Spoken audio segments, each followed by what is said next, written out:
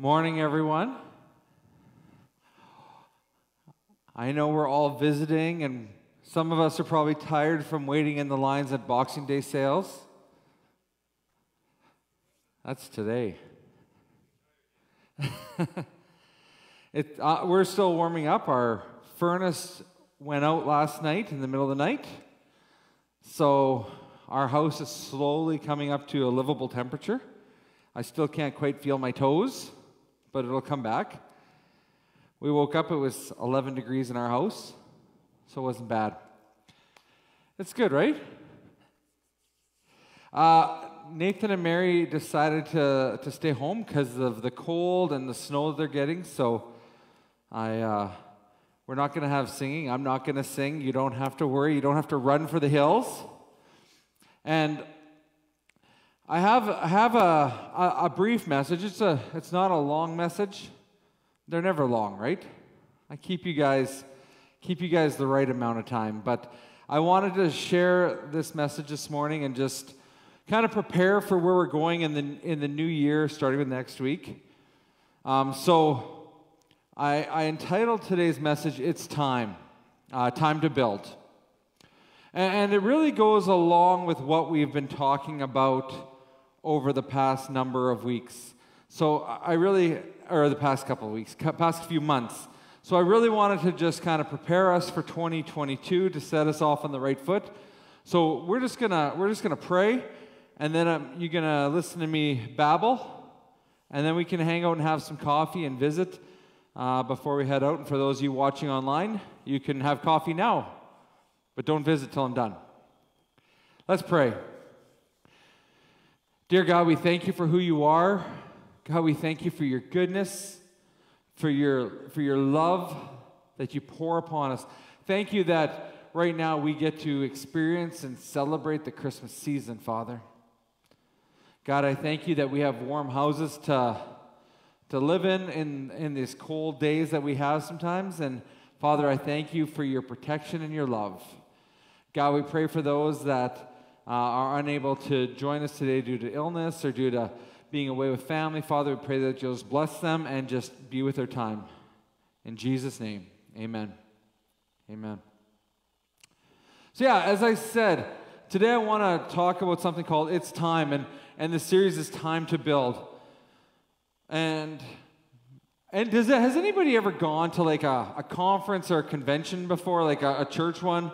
Some of you might have gone to like a youth convention or um, YCs or men's mighty men's conference. I think Gary, you've gone to some of them, or you know, even even the Gideon conventions and stuff that have happened happened around. And there's always these conventions. And I remember as a teenager going to to youth conventions and these teachings from God's words. And I remember going to Saskatchewan Youth Convention, and I remember going to uh, Alberta YC Youth their youth convention. And I remember going to Alberta a lot when it started with, you know, a couple thousand people. And I remember that was in Red Deer, and they had like half, not even half of the hockey rink there, which is about the size of Sask Place.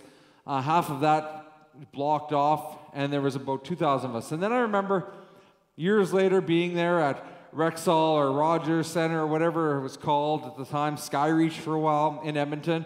And I remember there being there with like 18,000 youth, right? And I remember just what a what a great time it was. And I remember just having this this hunger for God's word and this this realness that he was there and he was real. And, and it, as I was thinking about that through this past Christmas season and just the the environment that we live in, and I was Ella was talking to us today or yesterday night even about this, but through everything that's happening in the world today, there has been a, I don't want to say uprising, but there's been a rising up of various different people groups around the world today. And there's been a rising up of different opinions. But the other thing that has happened is there has been a rising up within our youth to take a stand for God. And I don't think that we have been fully, um, a full understanding of that. You know, there's been this negative side of what's going on with our youth where there's been this depression, there's been sadness, there's been, you know, attempted suicide, suicide, all these things happening in our youth. But there's also been this group that has been rising up and standing for Christ and, and making a shift. And, and, you know, one generation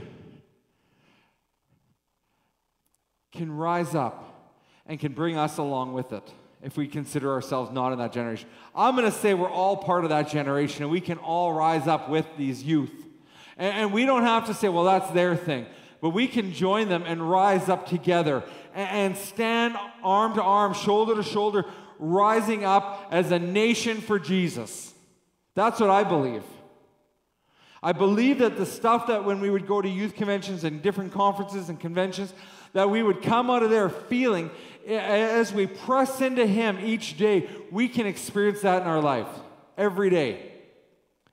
We need to be a group that, that abides in Jesus because if we don't, the other side of that is that group that is, is falling off their faith, that is losing their faith, that is not walking and living in faith. We can be the group that rises up, or we can be the group that is losing the battle. Do you know what I'm saying? And as I said Christmas Eve, the choice is ours how we're going to respond, how we're going to live, how we're going to act.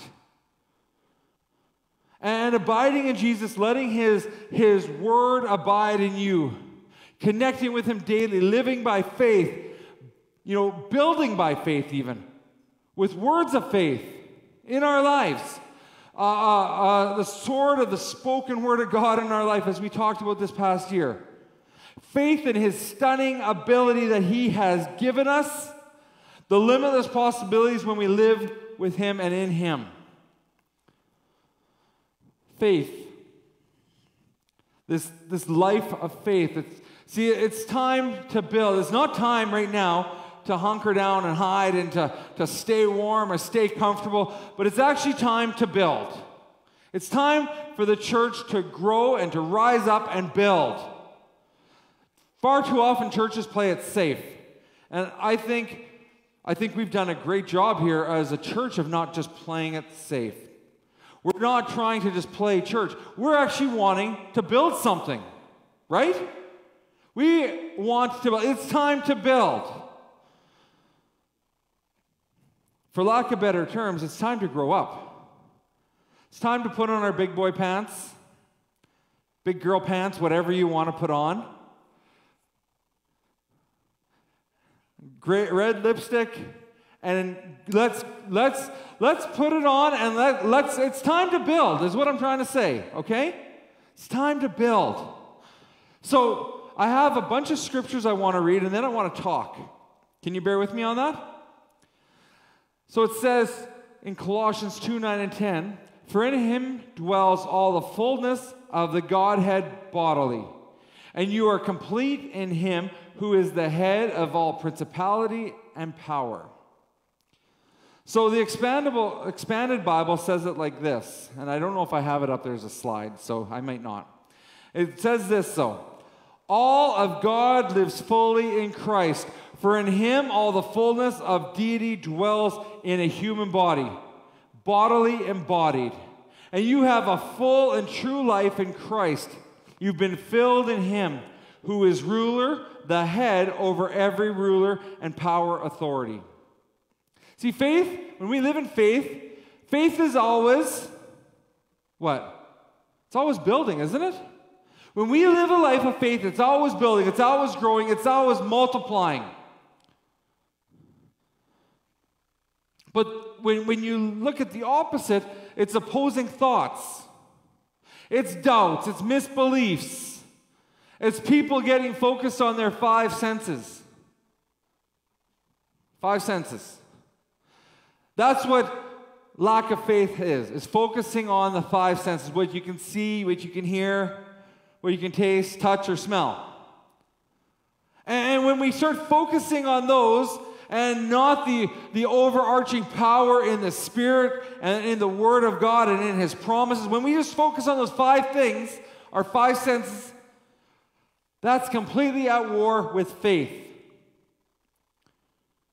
It's at war with faith. And we need we need to break out of those five senses as a church, as people, as God's people, as followers of Christ, as lovers of God. We need to break out of those and we need to start. We need to, it's time to build. That's what I'm trying to say. It's time to build. Romans 8, 6 to 7 says, For to be carnally minded is death. Your five senses is carnally minded. But to be spiritually minded is life and peace. Because the carnal mind is opposed and hostile towards God. For it is not subject to the law of God, nor indeed can be. 2 Corinthians 5 7 says, We live or walk by what we believe or our faith.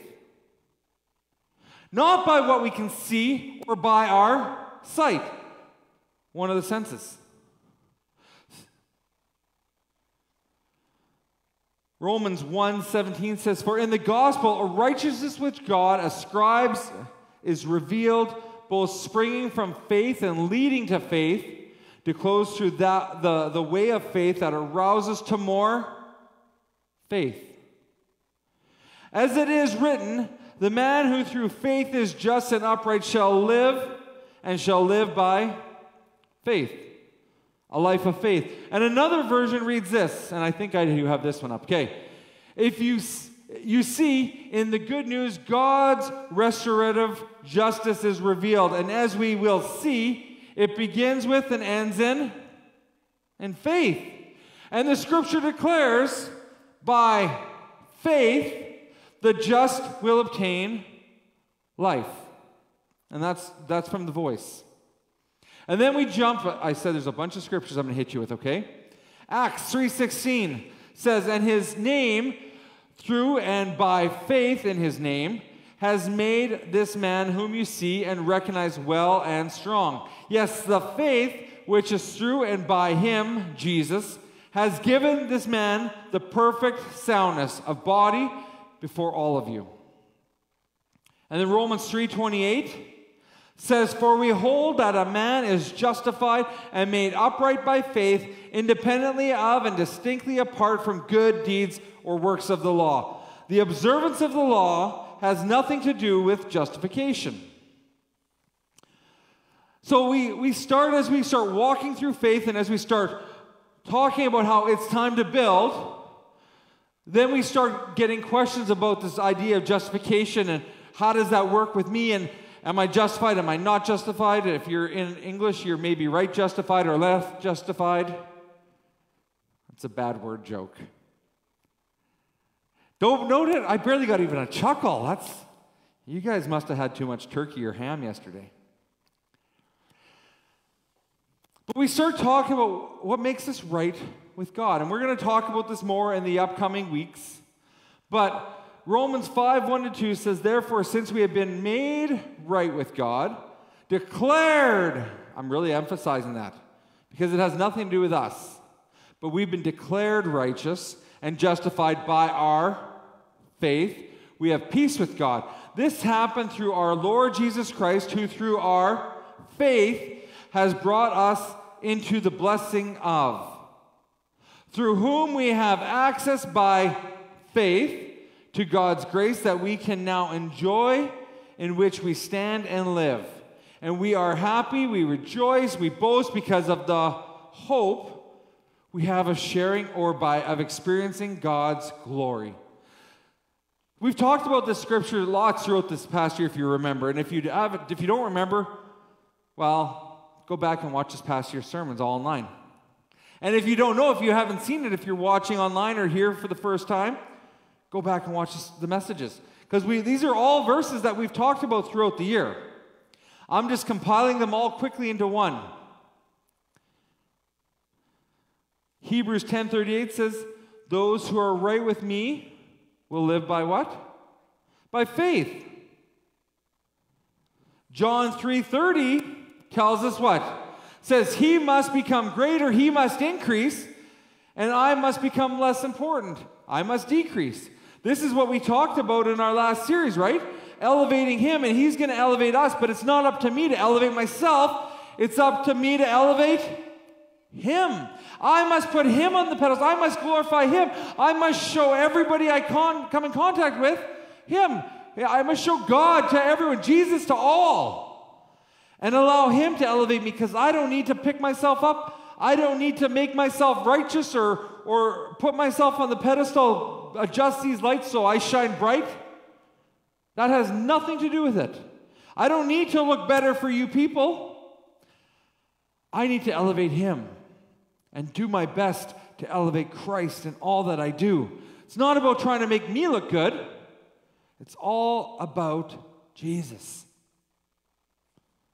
Inside of you, Jesus must increase. In, in your life, Jesus needs to increase. As we come in contact people, Jesus, right?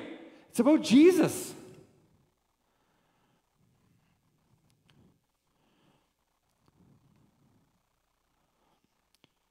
See, our desire to be noticed, our desire to be famous, that needs to decrease. And let Christ's love come out of us, permeate out of us, and, and it needs to increase. His strength needs to increase. His love, His joy, His fame needs to increase. It all needs to increase. And I need to decrease. It's amazing the things you can do if you don't care about getting the credit yourself. Have you ever noticed that? If it's like, oh, let me uh, let me shovel the sidewalks and let, let's make sure everybody sees me. I'm gonna I'm gonna call everybody and text them and make sure they come to church at 10 20 today because that's when I'm gonna be outside shoveling. So everybody's gonna be like, oh Dave, you don't have to do that. Oh, come. you're such a good guy. Here, let me get you a hot chocolate. You know, it's that's not what that's not a servant's heart. That's a look what I did somebody come pat me, Bill, come pat me on the back. Right? That's what that is. Sometimes it just happens because that's when people are showing up that you get there at 1020 and you're shoveling. But you know what I'm saying, right? I hope I'm clear on that. It's amazing the things you can do, though, in life when you don't aren't focused on trying to get the credit yourself. See, we need to get a picture of Jesus in the Word. We need to realize that He is he has lived out uh, this example here on earth of who we are to be, the things that we are to do, how we are to pray, all these pieces. He's lived this out and shown us. And it's captured in His Word.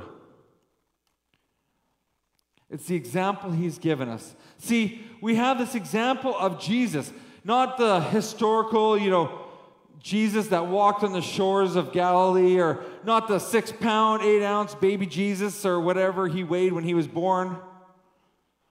That's just the perfect weight, it seems six pound, eight ounces. I've had five kids. Well, my wife's had five kids. I think that just, just doesn't that make sense? Is that a good size, Elaine? Six pound, eight ounces? I don't know. That's why I just keep going back to that when I say baby Jesus. But that's not that, but we're actually talking about the example the risen Lord, the King of Kings, our victorious, victorious Savior who came to earth only and only came to this earth to conquer the grave for us, to bring life for us. That's why Jesus came, not, not to be this baby wrapped in swaddling cloth lying in a manger for the wise men to come worship and the, the shepherds to come and all that stuff. It has nothing to do with that. It has to do with the risen Lord. The Jesus that came to earth to be victorious, to be our victorious Savior, to, to conquer the grave for us. As I shared on Christmas Eve, this year's been a tough year. We've lost some people. But Jesus conquered the grave. And as we start talking about Jesus, we start really, we need to start looking at the awesomeness of Jesus. And I don't even know if awesomeness is, is a word. If Carrie was here, she'd tell me it's a word or not. Is it a word? We're going to say it's a word, even if it's not, right? The awesomeness of Jesus, that's what really matters. That's when we're living our life. That's what we need to be living according to is how amazing and awesome is Jesus. The example he set, the things that he did. That's, that's our example. The man at, uh, at the right hand of God who loved me, who died for me, now lives forever, advocating for me. He was God's answer to the cry of humanity. He was God coming to our five senses. He was the intrusion into the physical realm that we have today. See, he talked like God, he acted like God, he lived like God, and on the cross, he died like God. He wasn't a philosopher searching for truth, he was the truth. He wasn't a mystic, he was reality. He was not an experimenter searching for reality. He was not a reformer. He wasn't a recreator. He was not a visionary. He was and is the light of the world. He never reflected. He never reasoned. He knew. He was truth. He never sought the help of man. He was never in a hurry. Like, if it was me and all these kids are trying to pile on me, and the, the, the disciples are like, hey guys, like, get away, go kids. And he's like, whoa, let these kids come to me, let them know me. I'd be like the disciples, right? Like, let's go, come on, guys, let me do my thing. I got places to be, people to meet, adults to talk to. Right? How many of us would be like that? Am I the only one that sounds like a jerk? right? But but Jesus is like, no, come to me. Let them come to me. I want to I want to talk to them.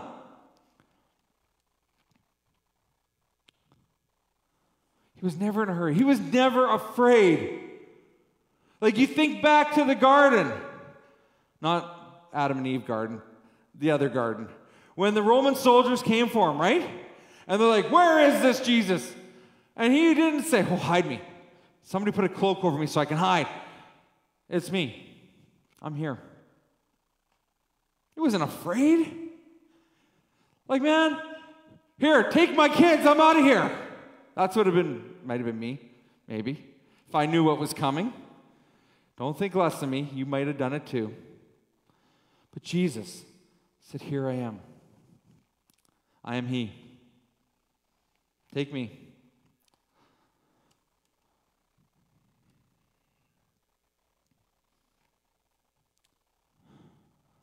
He never showed weakness.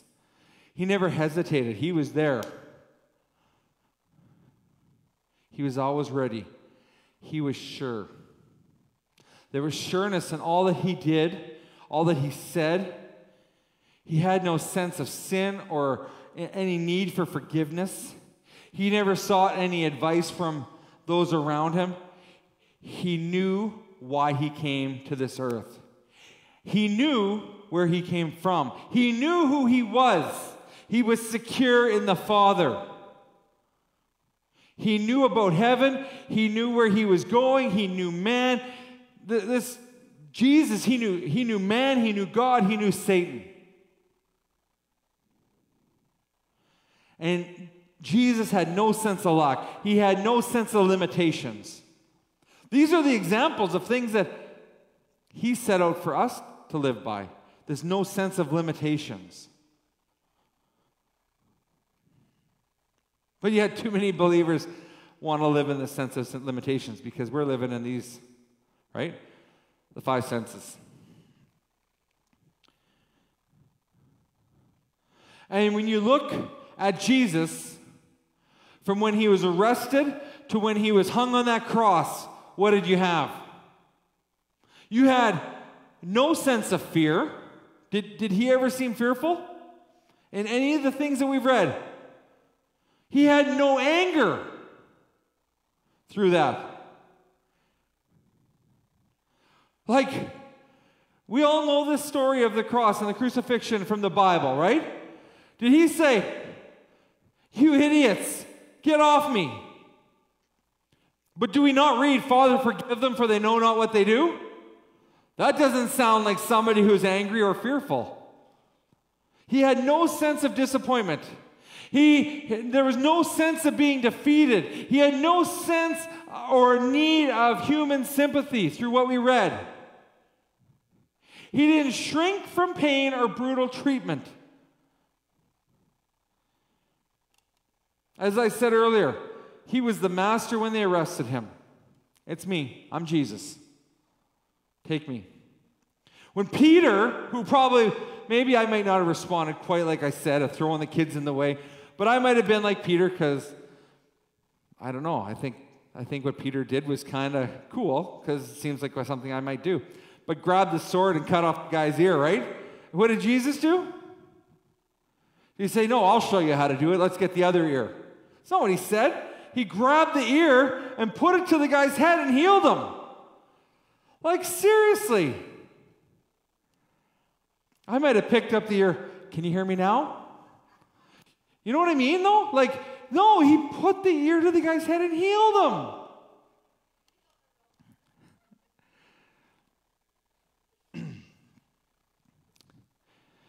When they arrested him, he was the master of the trial. He ruled the seen and the unseen when he was on the cross. He was almighty. He was, he was God on that cross, yet a man. And he died as God.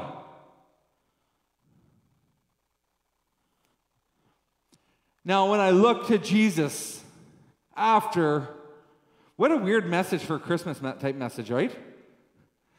But when I look to, to Jesus after the resurrection, after his death on the cross, his burial, his resurrection, before the ascension, when I look at that, do you see any sense of revenge? Like he doesn't get to this. Okay, disciples, come here. Let's get our game plan. Okay, and we huddle in and okay, we're gonna get them, guys.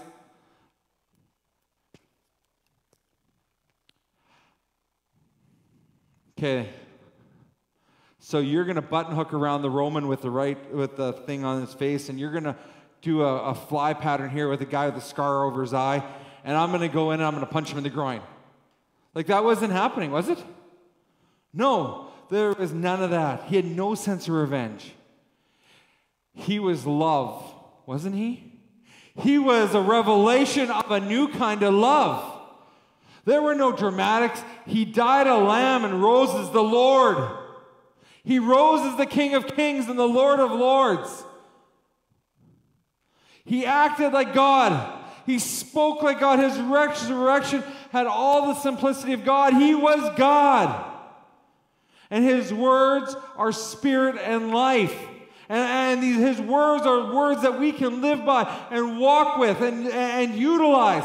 His example is one that we can move forward with as believers, as followers of Christ, because it's time. It's time to build as the church.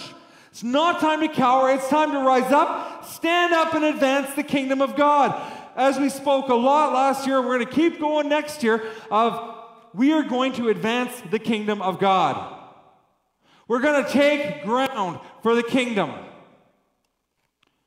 Not for our glory, not for, oh, look at Rosetown Community Church, but for Jesus. Has nothing to do with Rosetown Community Church, has nothing to do with David, has nothing to do with any of you has everything to do with Him.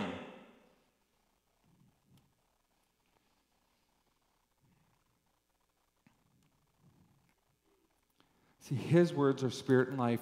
Jesus knew the value and authority of His words. He dared to say the words that others might think of saying, but never say. He knew the power of his words. He knew that his words, and gave us the example of words bringing life and death. It's an example we talked about this year. Remember the, the fig tree and how it died from the roots up? He knew that. He knew the power of his words. His words could bring life and death, just like our words can bring life and death. Just like he spoke to that fig tree and said, No fruit's going to come from you, and it died from the roots up. What did he say to the widow's son? Get up. And, and the, the boy, the man, rose up and became alive instantly. Life and death. Through the same words, well, through the words to the same person. You know what I'm trying to say.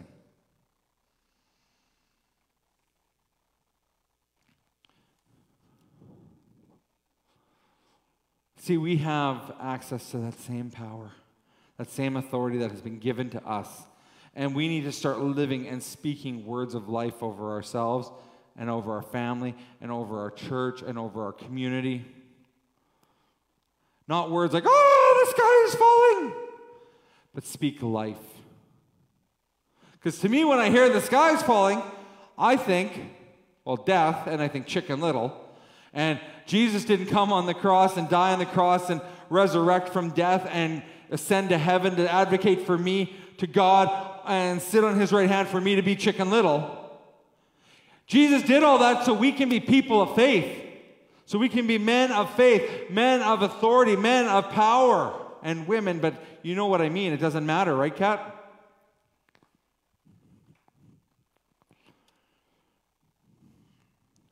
See, it's the word that brings us eternal life. It's his words, it's his life that he has given us. It's the faith building word, it's the grace revealing word, it's the words of assurance that he has spoken over us. See, the word, the word is the testimony of what God did through Jesus here on earth. That's the testimony of that. The word is also our testimony of what has been done in our lives through Christ. And that word of that testimony of what we have, what we have come through, where, where we are, is something that we need to share daily with each other. It's the word of faith when we preach and talk. See, what I'm doing up here is just talking like you guys do every day, wherever you go, when you tell about the goodness of God in your life, right? You're sharing your testimony. Bill and I talk about sharing our testimonies and how critical and important it is to our lives. It's something that we need to share wherever we go. We need to share our testimony with each other, with, with the community, so they know. I'm sure people come to my house, they're workers, and come and do stuff, and oh, that's a, he's a pastor? Weird, I've never seen a pastor with a mohawk. Oh, another goody two shoes. Come, let me tell you my story, man. Hear what Jesus did in my life. These are the opportunities because now you can elevate Him.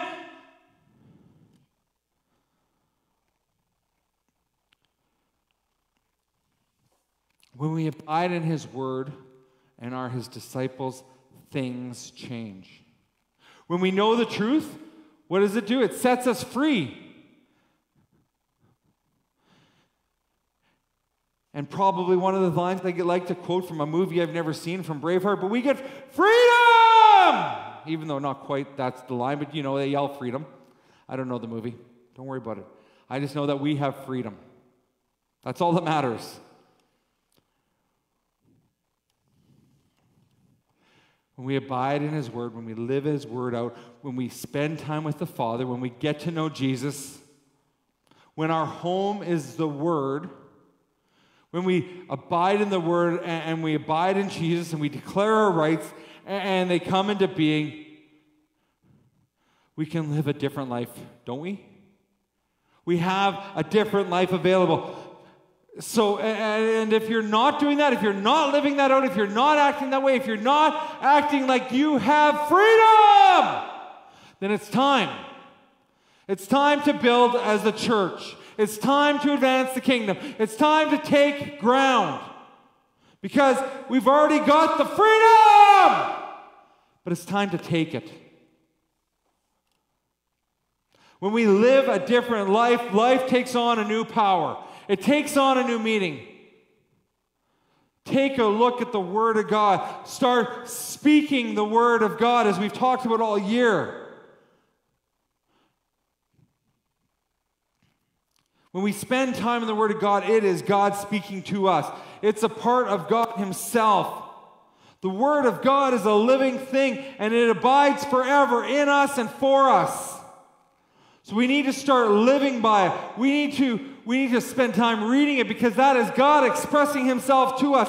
It is a love letter to us about his goodness and what he did through the cross, through the burial of Jesus, through the resurrection, through the ascension. That's what it's telling us how much He loves us.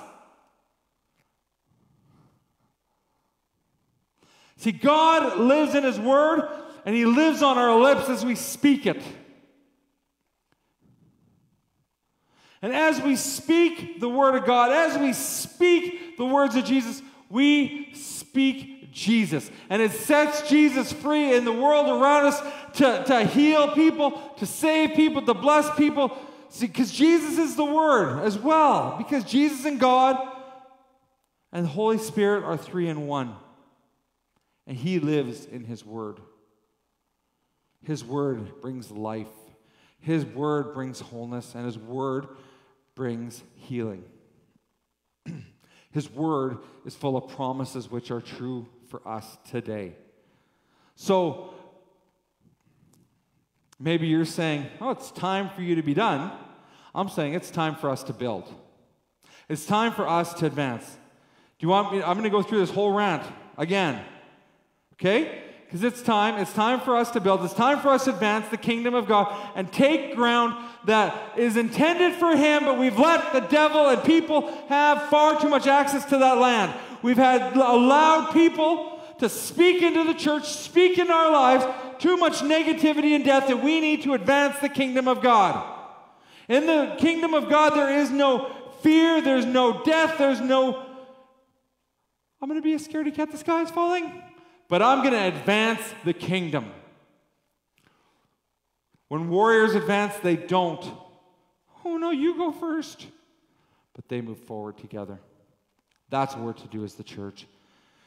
And I hope you're ready for 2022 because it's time. It's time to build. And we're going to be talking about the awesomeness of Jesus and and all these things and the, some of the characteristics of Jesus. And we're going to talk about how they apply to our life in the new year. So I hope you're ready to build. We're not going to be Bob the Builder, but we're going to be working with the best builder around. And we're going to elevate Jesus this year even more. And we're going to recognize his lordship over our lives even greater. And we are going to get to know the Father, and we're going to get to know Jesus, and we're going to get to know the authority and the power of the Holy Spirit in our lives through His Word this year. And we're going to get to know each other in a whole new level this year. Would you guys stand as we pray?